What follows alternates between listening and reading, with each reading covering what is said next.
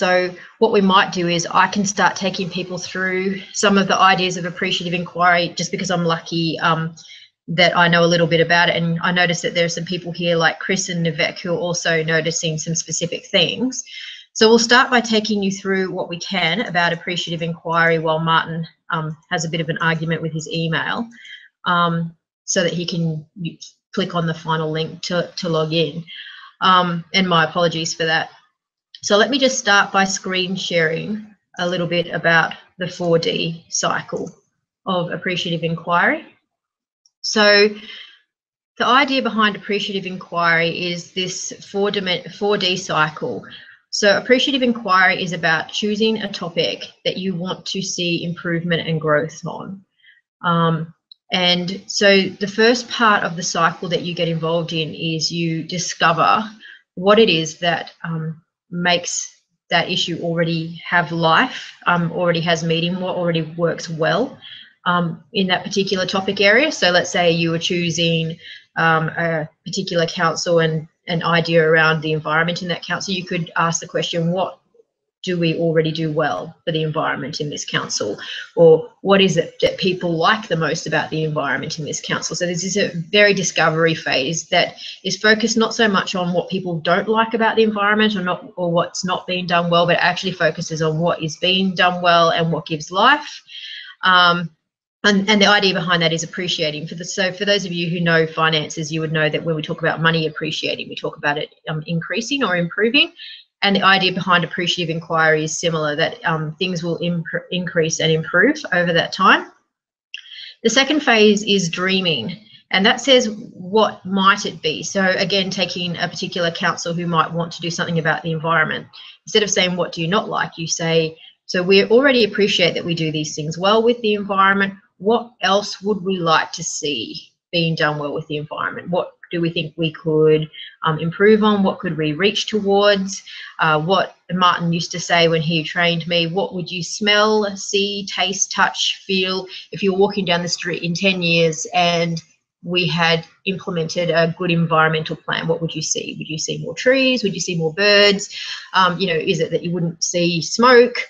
Um, you know, what what is it that you would or wouldn't see? So that you can be quite tactile about that, but also quite future visioned in what you dream about that. And then from that stage, you move on to the next stage, which is called designing.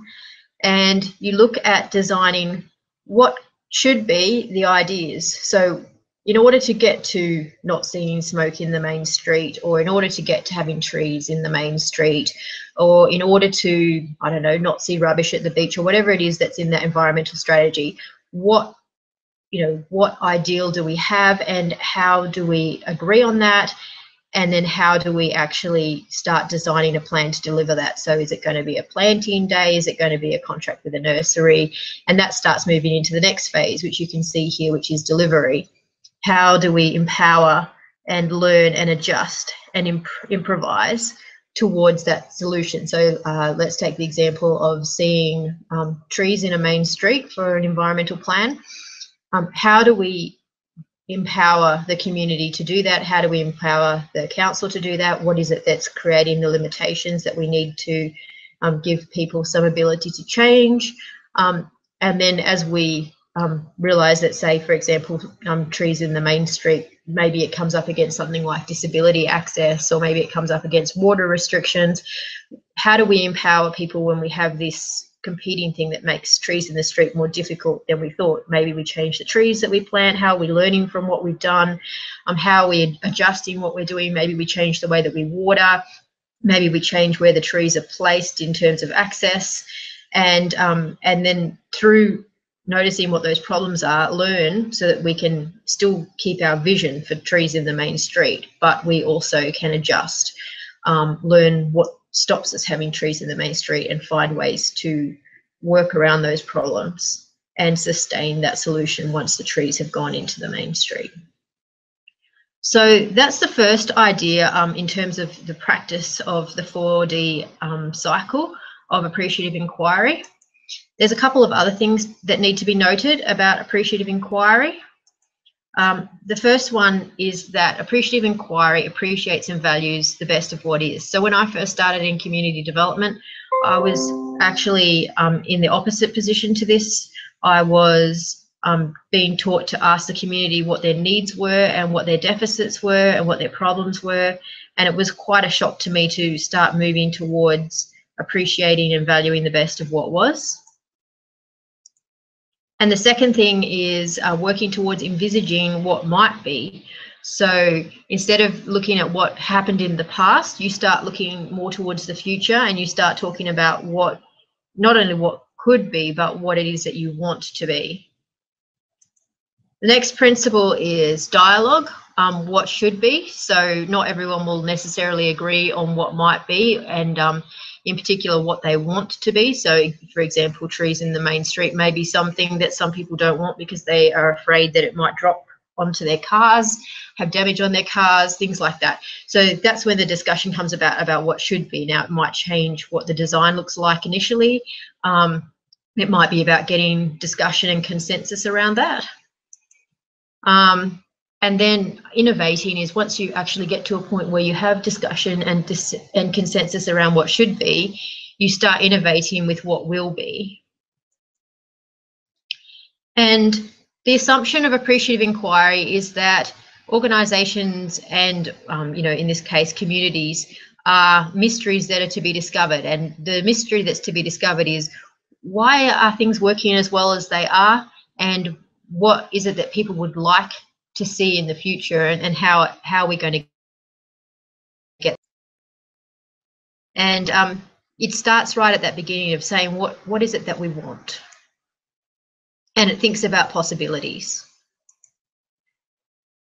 Most um most of the time when we ask questions of community groups, we actually are deficit focused, and um, there are and so for example, a deficit focus question could be uh, starting with what are you not happy with. It could start with what would you like to see changed. Um, it depends on how how that's worded, but it could certainly be that.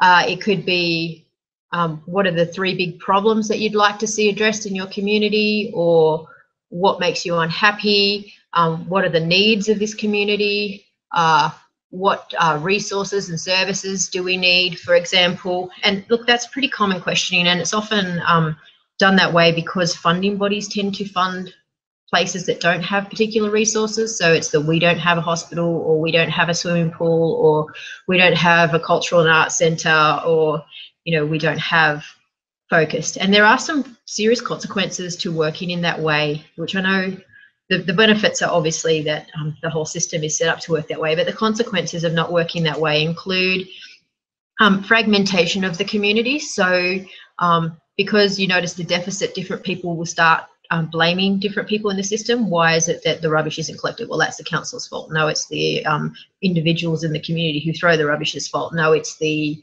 and we could go on and on. It's the school children, it's the, I don't know, whatever it is that want to be blamed.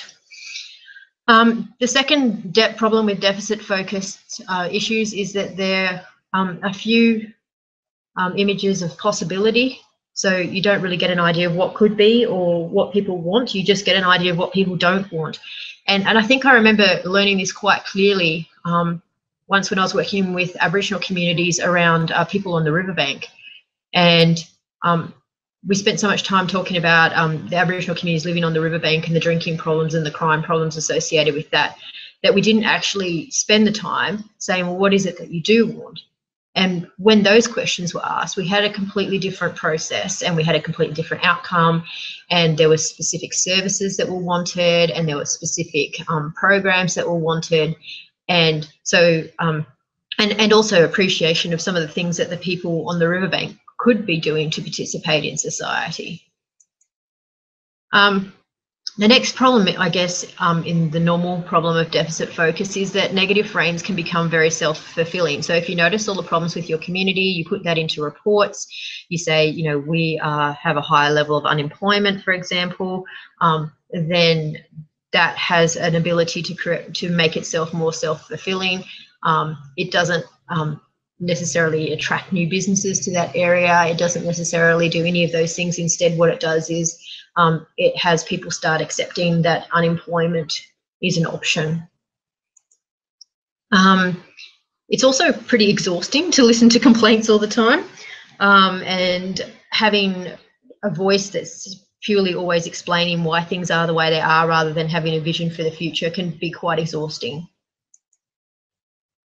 And it also leads to uh, people wanting experts to fix everything and not actually taking part in the process themselves for saying this is what it should look like and this is how we'd like to see it. And I guess finally, um, it starts weakening the fabric of relationships and leads to defensiveness and negative cultures, which is a little bit like the first point of fragmentation. And last of all, it's quite slow and it puts attention on yesterday's causes, you know, why things have happened rather than on tomorrow's ideas. And the thing that you can't really change much is the past, but you can have some influence over the future. And so this negative um, deficit focus also tends to reduce the energy that goes towards the future. So I'm just wondering if um, any people have any questions about that at the moment or any comments in relation to that. Did people see that so far, that part of the presentation?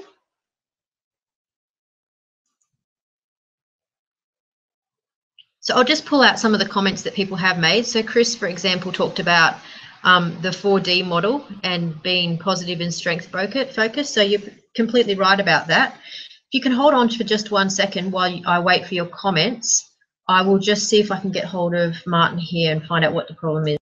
Right, there I am. I'm here. I think we got you it. Are. You're here.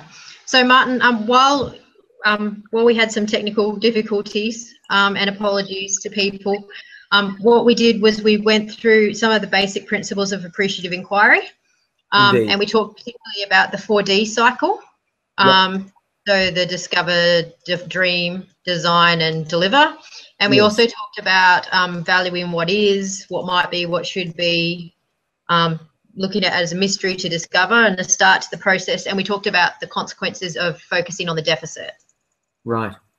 Um, so what we might do is because I'm really interested to hear sort of what your perspective is on this is that we might actually just do the quick um, share to the first one, which is this question about when did you discover? Um, when did you first discover appreciative inquiry? Why do you like it so much? I know you're obsessed when you saw us, so and that was ten years ago nearly now. So that's right. Um, okay, so look, I just to explain a bit about myself so that people have some context. Um, I'm an independent consultant working um, in local government and state government, basically. Um, and I was asked by a, a, colleague, another consultant, to come and assist with um, a, a, process looking at um, catchment management issues um, in uh, southwestern Sydney. And he used appreciative inquiry um, to actually, uh, as, a, as a, uh, a process uh, basis for the workshop that we ran um, to act, to find out what people um, valued most about their the natural environment sort of within this catchment area. So having come away from that, um, that was at around about the time when local government in New South Wales was just starting to get very active in um, with integrated planning, um, which required lots of community engagement and such. So I um, thought that the appreciative inquiry process, after doing some research on it, uh, I was certain that appreciative inquiry could be adapted to community visioning, um, uh, those kind of exercises to put together long-term community plans. And when I did further research on it, I saw that on, on there was a lot of information online about how appreciative inquiry had been had started off as a process for organizational change. So it was originally used as a process uh, by by organizations um, that were going through sort of change management stuff, changing uh, organizational structure. And uh, it was a process used in that context to sort of bring staff along on that sort of journey of change. And so I adapted it and and developed uh, an appreciative inquiry process for communities and community visioning. Um, and um, rolled that out across well over a dozen councils that were going through this integrated planning process. So getting communities involved in developing long-term plans, high-level visioning. Um, and well, I mean, Joe, you know, you, as a, as someone who witnessed the whole process, uh, you, you, know, you'll be able to comment on this, but it, it was across the board extremely successful. I'd have to say, immodestly. Yeah. yeah. Look, I mean, for me, and I was saying this before you got on, as someone who had been trained in community development to start out and ask the question, what are we missing from our community and what do we not need? Mm. Um, it was a, a, fairly big shift, but I think it's a shift that I came to really appreciate, probably because I have training in a therapy background, which is completely different to what your background is in modeling. Um, but again, in the therapy background, the shift in thinking is moving towards noticing what people already have that work well. And I, I agree with you. Watching it roll out in Cross Richmond Valley when we did that was quite powerful to see what it was that the community wanted. Yes, and look, appreciative inquiry. The, the basis of inqu- appreciative inquiry is quite simple, really. It's sort of sort of startlingly simple, really, because it, the basis of it is a philosophy that that if you if you basically uh, engage people on a basis of, of, of identifying what works, what is successful, what do we value, then those those things that communities identify then become the building blocks for the future. So a lot of engagement processes tend to fall into a bit of a trap of asking the question in general, what what is broken? What do we need to fix?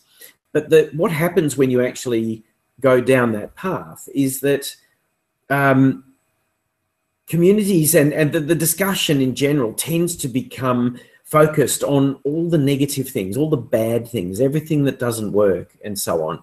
And so, if you actually apply this very strong philosophy of let's acknowledge the good things, let's acknowledge what works, let's acknowledge what we want, what we value, uh, then you've got some building blocks for the future. So, in that in that process that I um, rolled out amongst all those councils, we couldn't ignore, we couldn't just bypass things that people, uh, uh, you know, the broken things, the things that that the, the, the problem areas, but it was a matter then of asking a question, and and if you do research on appreciative inquiry, you will find um, that it is it is all locked up in a, in a very carefully designed questioning process.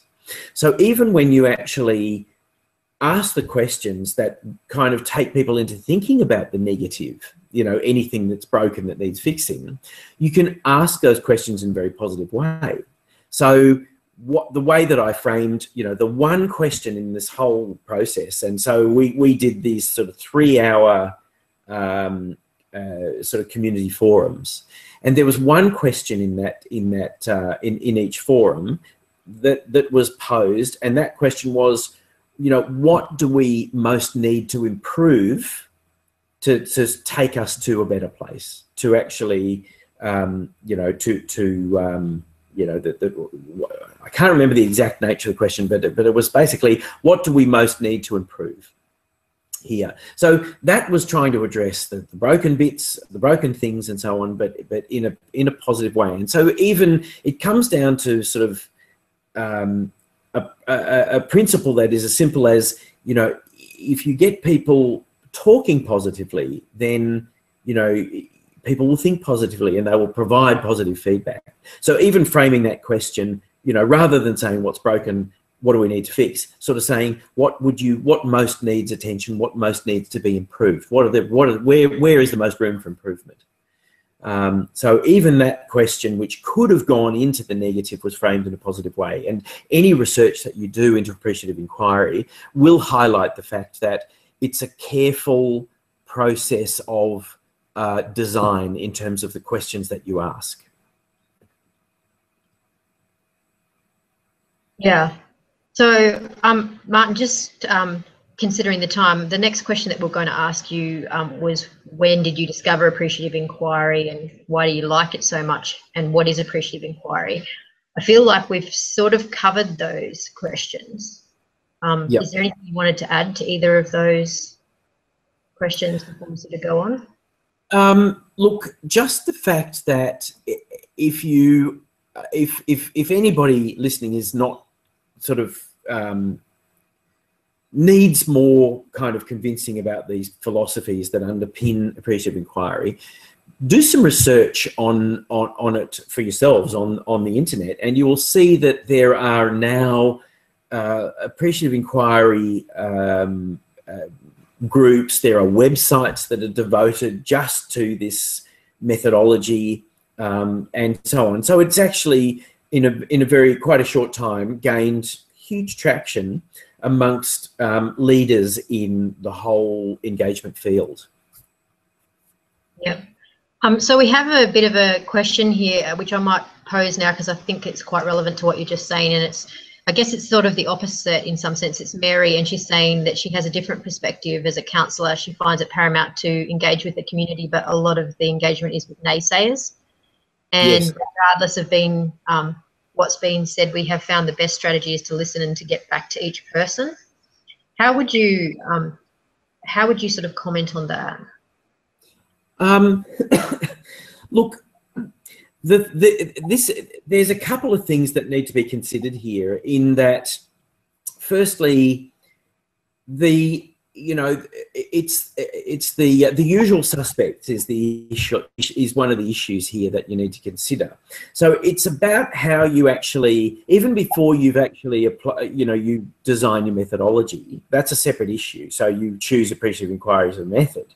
But if you actually need to take a step back and say how do we actually cast our net wider to get to attract people you know, who are not the usual suspects. Because the naysayers tend to be the, the usual suspects in terms of any engagement processes. You know, there is a core group in any uh, in in any community um, processes who are kind of always involved. You know, they want to be involved and and so on. This, so it's a it's about casting the net wider and and using a broader uh, set of processes to actually get people involved and and timing one of the things that we did when we um, did these community forums all over new south wales was to make sure that we gave people every opportunity to be involved so we did uh, engagement activities at different times of the, the day, you know, weekdays, weekday evenings, weekends, and so on. So you give people opportunities to be involved. Once they actually come along, and we were getting what uh, Joe, as I recall it, anywhere between 60 and 100 people to each of the four forums that we ran in, in the Richmond Valley area. Yeah, I So- think we count seven to eight hundred people in total that we engaged with. Yeah, that's right. Which is which is a which is a lot, bearing in mind the overall population. Um, so, secondly, once you actually do get the people in the room, no matter who they are, and and even the naysayers, what you do is you upfront. You don't just ask these questions by stealth. Um, what I did was I got up and and um, started each forum with an acknowledgement of the way we were going to run the forum and the questions we were going to ask. So I said to them, look, um, I, from memory, my, my opening remarks were something like, you know, welcome to this forum. Uh, you know, we have a limit, we have a limited amount of time together. And the purpose of this is to envision, to develop a vision for a, a better Richmond Valley in that case, or you know, a better wherever, you know, a better better community and a better a better environment. So what we're going to do is we're going to focus only on positives because if we can identify what the best things uh, that are around us in terms of community, in terms of natural environment, in terms of you know um, services and facilities and that. If we identify the best then we we know what we need to preserve and we can build on that. So it's a matter of upfront acknowledging how we're going to run this process. And even and joe as someone who witnessed these these uh, these forums was present in in in all of them i'm sure you'd agree that even the naysayers there was one particular naysayer but uh, he attended every one of those four forums and drove a long way to get there. And and his purpose in doing that, he said, was you know to keep the council honest, to make sure the council was honest. Now, in the end, I had he I had him helping, providing assistance in the forums in describing how this process was going to work. And I ha- he was actually the most vocal supporter. I remember. Yeah, he was explaining to to all and sundry how the process was work would work and how important it was to actually participate uh, in the process, at, at, you know, according to that, the design of that process. So this was the guy who was the council area's biggest serial pest, and he was absolutely and utterly on board. Now, that's not to say he stayed on board because he, you know, went on later on to to you know cause further problems with this process, but there and then in those forums under the appreciative inquiry process, he was a total supporter. So and, and I guess sort of in summary of that, it, it's quite easy when you have naysayers um, to say, I'll take your concerns back. And I think that what Mary's doing is really valid in doing that. I think it's important for her to say, I am listening, I'm going to act on it. But I think the second part of that is that it's really important to say, what is it that you would like? Because it's really easy when people are telling you what they don't like to imagine what they would like. But actually, you might find that, for example, they're not happy about the potholes. And then if you say, oh, well, we'll get them filled, which seems like an obvious solution, then they might be unhappy about um, the amount of money that's spent on the filling, or they might be unhappy with um, you know the noise in their street or the time that the filling happens. So you know, mm. the hmm. more specific you can get about what you want, the more helpful. Um, we've got yes, a couple of other. Yeah, sorry, go on. Oh, just just with those kind of things, because a lot of council business revolves around those kind of practicalities the potholes the the you know all that sort of stuff the the the the, um, the, the road repairs which aren't being done and so on so but when you actually when we actually started the forums we sort of said look you know a, a number of you will have come here to have specific issues addressed to have you know and they may be long-standing issues and a lot of them may be entirely valid, but I will say to you now that this is not going to be the forum to do that. And the reason is that we have a certain, only a certain amount of time together. We have to make the most of this time, and therefore we're going to focus on the positive. We're talking, you know, building a 20-year plan. We need to know what you value. We need to know the best of what there is, and and then I sort of said, look, you know, we have uh, breaks here all of the councillors are here, which they which they inevitably were. The senior staff catch those staff during the breaks and use use the, the free time opportunities to pursue these issues. But in discussion, we need to actually follow a particular process here.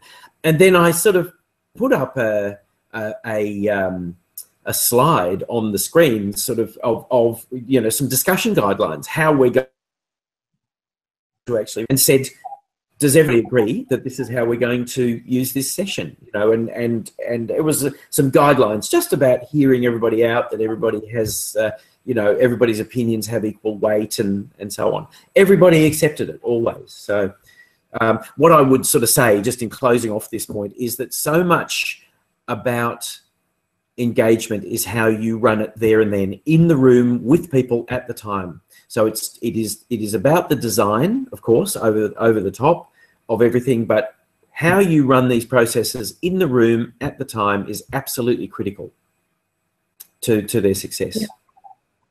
yep. So this is a real quick one that we can knock um, over, I, I, guess, but I'll just post it. Um, Kerry Baker said it would be really great to receive a list of recommended online sites. So if you and I talk afterwards, when we send out the recording, we can send out couple of sites that you're recommending that people do their some research on? Yes, that, by all means. Yeah, for sure. So um, we have a question from Marie that says, "How do you get something started without having a three-hour session? Um, you know, getting people to attend for that long and getting attention span, etc. Um, can be difficult." Yeah, look, uh, it, it depends. It's hard to answer that question without knowing the specifics, and it's hard to sort of um, it's hard to look you know you wouldn't actually use appreciative inquiry when you are when if you kind of looked at a, small kind of town committee and they had uh, you know a pot of money and how do you want to you know how do you want this money to be expended? I mean appreciative inquiry won't work in in in every single um, context.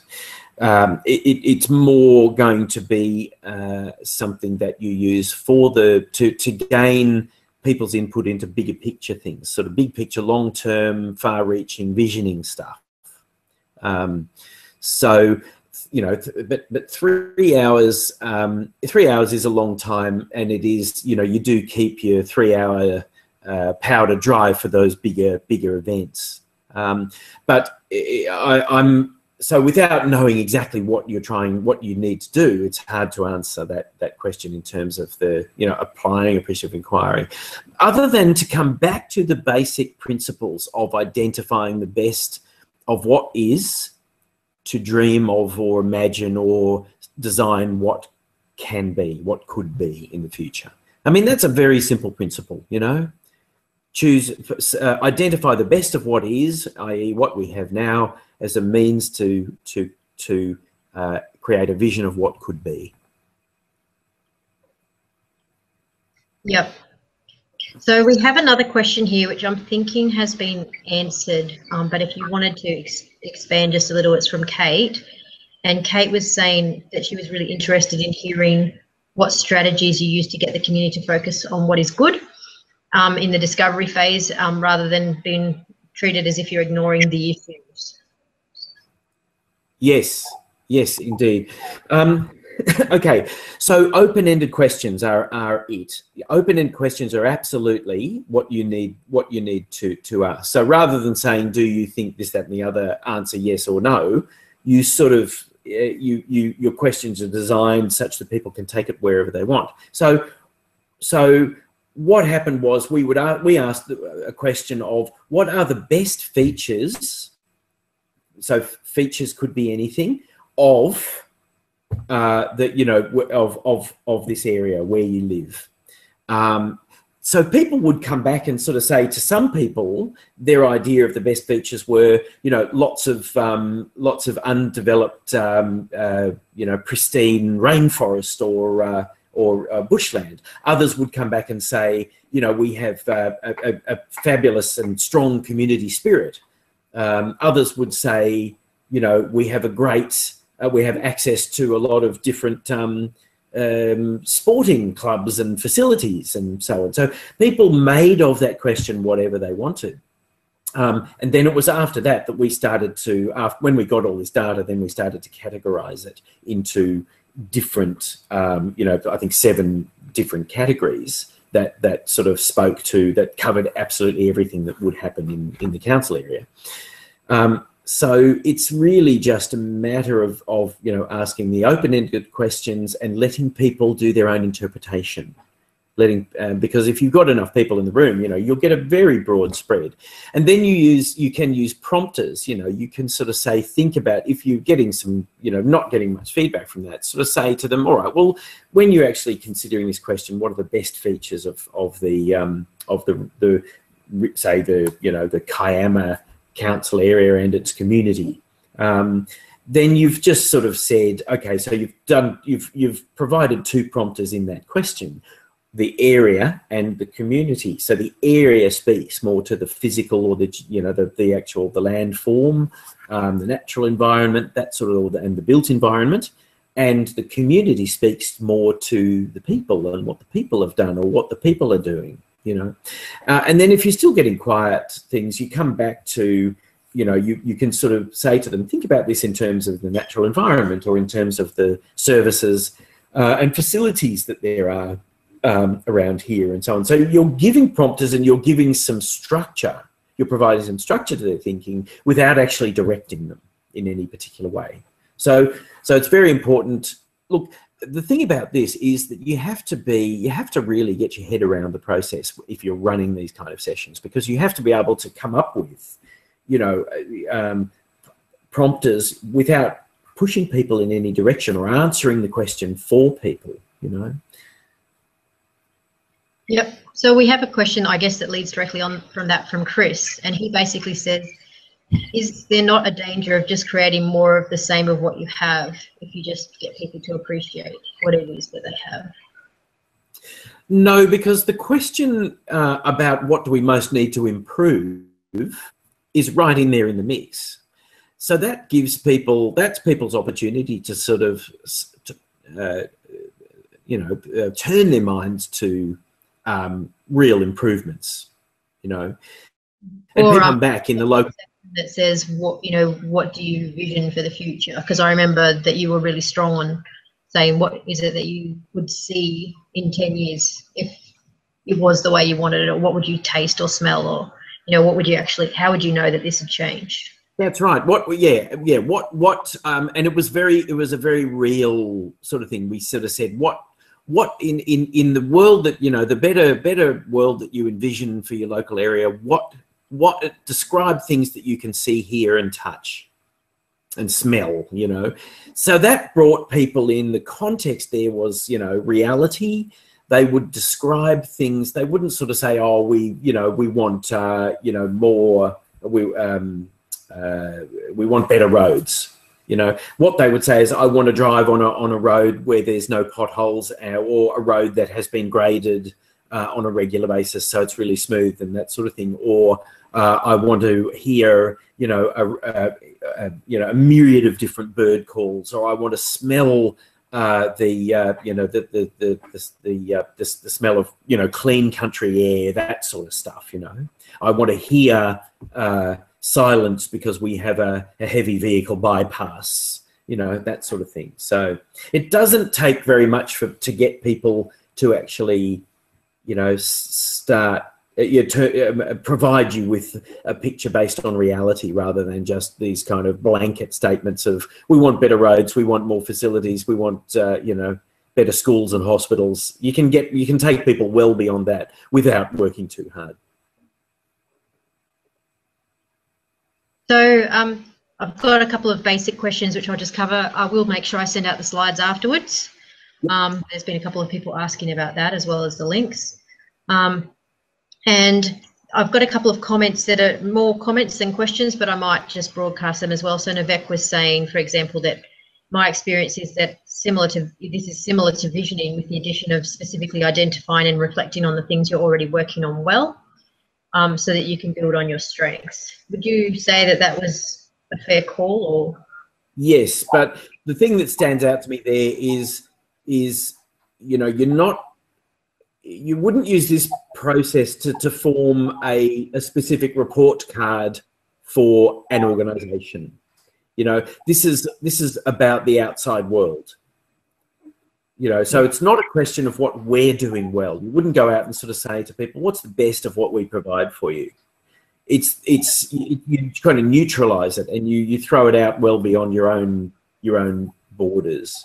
Um, certainly, you can bring things in there, but if it's open ended and you're asking open ended questions, if if something is at the forefront forefront of people's mind, if they've been, you know, if, if, if a government authority, be it a council or a state government department or something, has been making them really uh, angry for many years, and you ask the question, "What do we most need to improve here?" They'll give you that answer because it's in their minds. You just need to trust their capacity to actually provide an answer to that question you know, without guiding them at all. So it sounds like part of this process is actually about turning the question or turning the comments that are common around so that people see a way forward rather than what it is they didn't like in the past. Yes.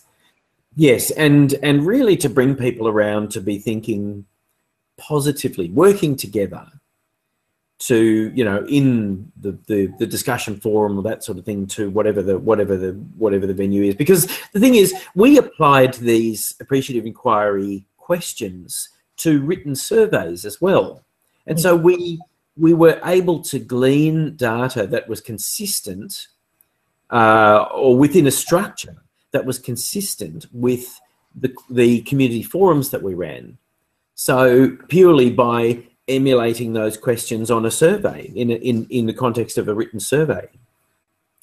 So it's very, you know, it's very um, flexible, very flexible. This this kind of um, this kind of format, and and uh, you know, as it comes back to what I was saying about some very careful design uh, to to really be able to understand appreciative inquiry and adapt it carefully to get the outcomes that you need. Yep. So I guess um, coming back to Marie's original question about, you know, how do you do it if you don't have three hours? Part yep. of your answer is saying you can do it in other ways. I remember that um, we had the survey that you're, one of the surveys that we created was for school students. So we changed the language to be slightly more simple and um, we just grab a whole lot of kids in their lunch breaks. And That's um, right. Uh, what they would like to see in the future um, for their town yes. or what they like the most about their town at the moment. Yeah, so I think with Marie's um, for Marie's question, the answer would be, as you say, you know, it's it's you know three hours. We I think we asked five or six questions over three hours, but we had 80 people in the room. We provided um, a substantial meal break because this was not just about getting the data that we needed and running away. It was about a you know heralding major changes um, and, and a major process that the council was initiating. So three hours, you know, and that was from I think 6 p.m. till 9 p.m. with with a with a meal provided, um, and uh, you know it was really uh, signalling that this was a, a big uh, and um, substantial, important process. So, but then ask fewer questions. I'd say if you don't have three hours, then go back to your, your, your, your blank sheet of paper and do your design work around what you think might be a um, you know an appropriate amount of time to achieve the task and uh, or to complete the task and you know and design accordingly you know coming back to those basic appreciative inquiry principles of focusing on the positive yeah and asking questions in positive ways and so far, you've outlined two ways um, that you've seen this done in terms of techniques. One is in surveys, and the other is in sort of big group forums. And I might just add, because I was there, so I sort of know what happened, that those three or 400 people in a room didn't all sit in chairs facing the front. They were sitting in small groups around a meal with two staff members who were documenting um, the answers to the questions and not deviating from asking the questions because it was easy for staff to say, well, that's a ridiculous idea. that's um, right. And the thing is, too, that, you know, this was a, what I designed this as a capacity building program or a capacity building initiative for councils. So, the what I did to start with was train staff, council staff, um, in these processes because the um, you know I was working a lot with rural councils that just didn't have the resources for a swathe of of uh, of consultants to come in and you know run run the show for them. But it was also a, ve- a very valuable exercise. I would advocate that councils or any anybody.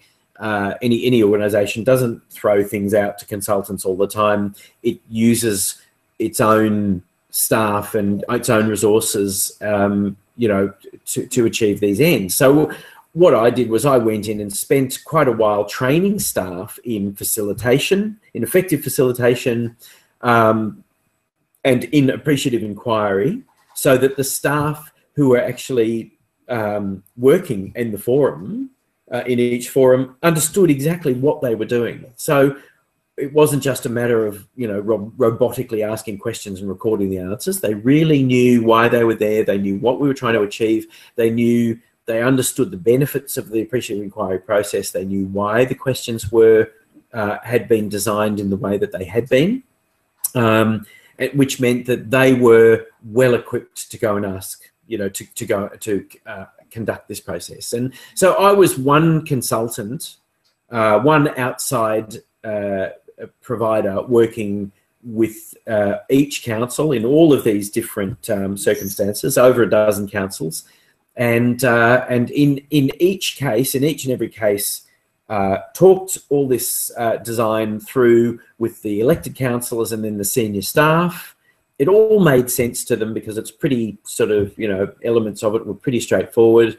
And then the council went away and got twenty or eighteen or twenty staff, and then I trained them. Um, and then we all went out and did this together. So at the forums, the actual design of the forums, um, the questions were asked to tables of around about eight or 10 people. Uh, and so that basically the eight or 10 uh, per table gave people a chance to really to, to talk. You know, people are often reticent to stand up in a room of 100 people and say something. But in a small group of eight or 10 where they've introduced themselves, they probably know each other to some extent, and so on, people are a lot more comfortable to actually talk more freely. And so that's that was a very deliberate design um, aspect of the, the, the process. Uh, and, and it also meant that staff were much more able to manage the discussion process. And I was there in the room throughout the whole thing and walked around, and I was a bit of a, uh, I was the policeman along with the, the general manager, uh, the head of the council. We were the kind of police, and and there were. Let me see. Uh, look, in in in three years of doing this, I could count probably there were two people, three people who came to, who come to mind as people who tried to sort of disturb or, or send the process off track. So when you actually consider over a period of two or three years, uh, thousands of people involved and three people, three people who actually tried to um, say hijack the process. Uh, it was momentary. One of those people actually was a was a, a mayor, so arguably not a not a, a, a community participant, but a but a, mayor um, uh, of one of the councils. So it's you know with the proper training and the proper design, it's it is very very easy to manage successfully. Sure. Um, another question, which obviously goes straight on from that, is how does the appreciative inquiry process handle all the feedback? That comes back to them. Okay, well then basically you're leaving, you're departing from you've appreciative inquiry is only about only extends into how you interact with your communities and how you how you obtain data.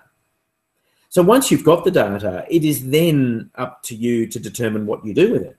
So what we what we did uh, in what I did with in, with uh, in each case here was to get, put the data into a uh, into a, a, a, database actually, and Joe was the person who uh, who uh, developed or designed and developed that database. Um, and then we started to um, categorize the data. Now, we, when I say the, the we bit is very important because we had staff and we had councillors there so staff who were, you know, administer the processes, councillors who represent communities, and together we may we sort of formed, we kind of crystallized the data, we grouped the data in under common themes. So uh, we developed seven themes that represented, you know, that would encapsulate everything that would happen in a council area.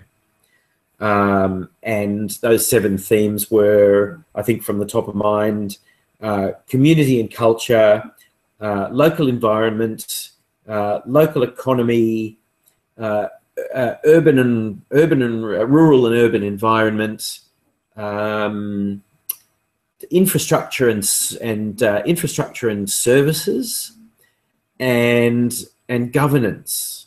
I think that was that they were the they were the categories. So that's pretty much uh, through long deliberation we kind of determined that that was ev- you know everything that happened in a in a in a council area and in their communities could be categorized within those seven categories could be could find a home within those seven categories so once we actually got those seven categories then we started to group the data we started to look for common themes we started to look for common uh, common statements and so on. And we built a picture of, you know, life now and in the future uh, in the council area, um, you know, through examining what was categorized, what we had placed in those seven categories.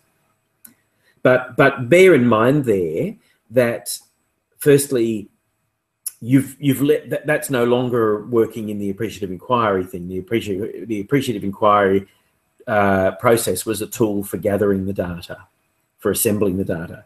But then what you do with the data is then entirely up to you. I mean, some um, there are there are there are, there's now software that will uh, do all this stuff for you. Personally, I I like a process where you don't actually rely on software. You actually get a bunch of people sitting in a room, and it's about the makeup of those people. You know, it's about the the uh, who, who is who is in the room doing the data analysis and and and who they you know and what interests they represent. So um, I'm just aware of the time, Martin. Um, there's been a couple of people saying, what time are we planning to finish? And we probably would have finished by now if we hadn't had some glitches at the beginning. Um, there was a really interesting conversation that took place about um, doing some triage um, in fire zones or after massive natural disasters and um, how appreciative inquiry would fit into that framework. Have you had much experience in seeing appreciative inquiry done after a natural disaster or man-made? No, no, no. Look, I I haven't actually, um, but uh, what I would say is that I can see certainly the application uh, of that, um, you know, uh, in in that kind of scenario. Um, and it's really a matter of applying the design principles. It's we, I mean, look, with any engagement process, to some extent, you have to start at the end. Uh, by and by that, I mean you have to actually start off by saying to yourselves or asking yourselves the question: What do we need to achieve here? What do we like? Do what do we need? What data do we need to uh, uh, obtain? What are we trying to achieve? Once you've actually got those end goals clarified, you then design the process that will achieve it. So then if you decide, okay, well, I want to see how I can apply appreciative inquiry to this to achieve that, then you start doing the appreciative inquiry design to achieve that. So it's all about the end goals. What do what do you need to walk away with at the in the end? Some you know, in that kind of scenario where I was working with the councils, we what we needed to achieve basically was a 20-year community strategic plan. Um, so you know, there would of course be situations where you look at it and you sort of think, well, okay, no, I cannot see appreciative inqu- how appreciative inquiry uh, might be might might uh, um, address the issues I need to deal with right now. You know. Um, but uh, so it's you know it, it would be a matter of, of figuring out what you what you need to do and then looking at um, whether or not appreciative inquiry is uh, is is something that would help be able to help you achieve it. Yeah. And I guess um, sort of in, in summary of that, appreciative inquiry is something that can be applied to a series of techniques, um, but it's really about a mindset of first of all find out what people want, um, finding out what people already like, and finding out how people want to move forward and that you can use that yes that's right. in a, in a variety of settings um, over short or long periods of time with yeah. small or large groups. Um, and then obviously the techniques that you need say for example surveys will still be needed to ask appreciative inquiry questions. But it is about um, asking yourself the question is the question that i just asked making having a deficit model um, or is it having a model that expands yes.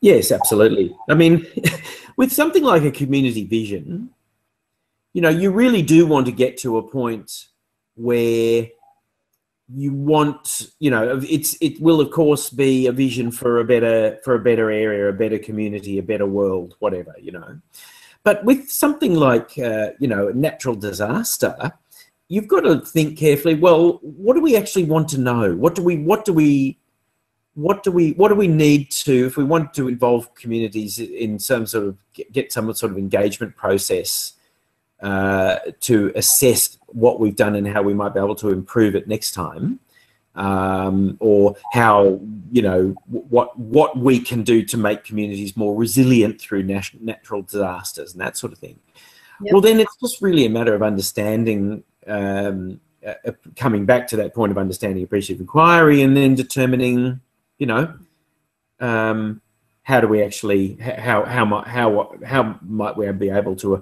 apply this methodology to uh, to to achieve those ends? Yep. So I'm just aware of the time. Um, is and I haven't had any last questions. Actually, Marie sort of summed it up. She said what people value is the key thing that she's picked up out of all of this. Um, yes. And I'm, I'm thinking, um, given the time and given that we've had a number of people put in their apologies and say that they need to leave, we might we might end soon. But I was just wondering, first of all, if you had any final thoughts or words, Martin, that you wanted to say, and just to let everyone know that this will be recorded and we'll edit out the um, waiting time and we'll send you through a link with some really good appreciative inquiry um, websites as well. And Martin, if you're happy, I'm I might also send out information about how people can contact you. So yes, by all means. Service as well if they have further questions. Yes, absolutely. Yeah. So just um, if you want to have a go, Martin, at summarising um, what you think people could take away from inquiry. Um, yes. Okay, look, I would I would probably summarize summarize it like this. I would say that appreciative inquiry is probably the most powerful engagement tool I have um, I have witnessed and and and used. Um, it's what I would say to everybody is trust the capacity of your communities or whoever you're involving to to deliver sound and and sensible contributions. You've got to do that, um, and the the the opportunity that appreciative inquiry gives you to move away from this antagonistic, uh, combative kind of setting where that that inevitably uh, kind of cloud put, brings a cloud over engagement processes when you actually start sinking into this quagmire of what tell us about all the things that are broken you know? Tell us how bad we are. Tell us about how bad your local area tell us everything you have to endure you know living here or involved in this or that or whatever. People find it refreshing to step away from that. And and they find that they in all my experience with this said they absolutely loved the opportunity to to talk positively, to actually, you know, as a process of affirmation, taken on trust that this was this, you know, what they contributed was going to be used to to to to build a better future for for local communities in in in you know a, a, a, a, number of ways all the ways that you know everything that happens in a community but but for engagement processes, I would I would very strongly recommend some some detailed um, research into appreciative inquiry and to see what you might be able to do to actually test it uh, in engagement activities to see how how powerful it can be.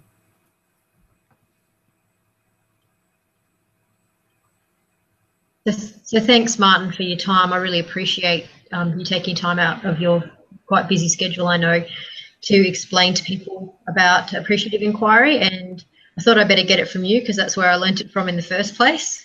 No, um, thanks, And look, I just I, I want to say also sorry about the technological problems. I, I it was it was all a bit of a mystery to me, but thank goodness we got here in the end. And thank you everybody for staying on the line and having faith that something good might happen, which it which which you know, and it did. So I'm appreciative of that. so thank you, everyone. We appreciate you coming, and we will uh, send these recordings out to you. Thanks, everyone. Bye. Bye.